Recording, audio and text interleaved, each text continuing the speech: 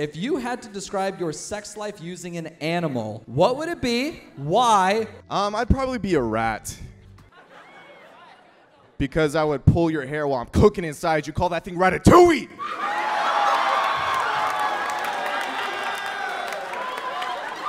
That's pretty good. I also love Disney movies, and I want to watch one with you as we cuddle. Call that ratatouille is pretty That's good. pretty great. I've never wanted to have sex with a rat as much as I do right now.